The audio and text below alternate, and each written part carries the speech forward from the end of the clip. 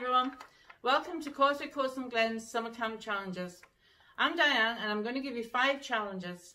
I'm also going to give you options of how to make them a little bit more difficult, but remember that they are challenges so you don't want to do them too easy. This is a sheet that you can download so you can record how well you're doing and you can put a little picture of, of you doing the challenge.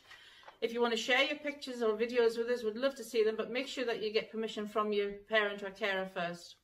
Before you start any of the challenges, again, check with your parent or carer, make sure that it's okay for you to do the challenge and get them to check the area where you're going to be working just to make sure it's safe so that you don't hurt yourself or anybody else and so that we don't damage anything, especially when we're working indoors if we're using balls.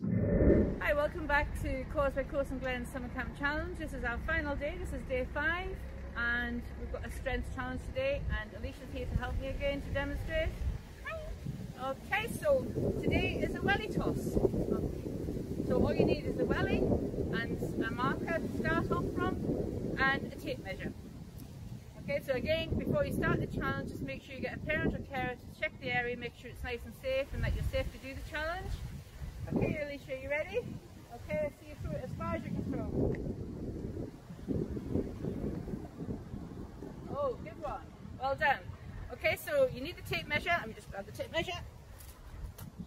Now, if you have a big enough tape measure and haven't thrown it very far, you could just use the tape measure.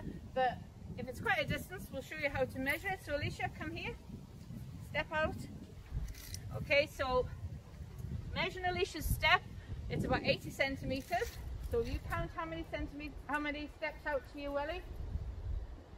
One, two, three, four, five, six, seven. Okay, so she threw the welly seven steps. So to work out how far she threw it, we need to times seven by her 80 centimeters and then divide it by 100. So there you get to do a little bit of maths today as well. Okay, so that was our final challenge. That was challenge number five.